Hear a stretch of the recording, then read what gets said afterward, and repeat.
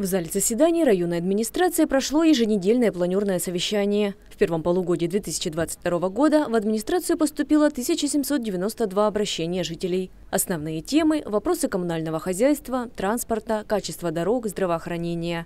Острые вопросы, электроснабжение потребителей, газификация села Шабановского держат на особом контроле. Прошу обратить внимание, особое внимание на работу с обращениями граждан, на контрольные поручения губернатора и президента. Еще одна важная тема – подготовка к отопительному периоду. Всего в районе функционирует 64 муниципальных котельных, которые эксплуатируют предприятия ЖКХ. Глава района Андрей Дорошевский отметил, что к зиме должна быть обеспечена их бесперебойная работа. Администрация района активно работает над этим вопросом.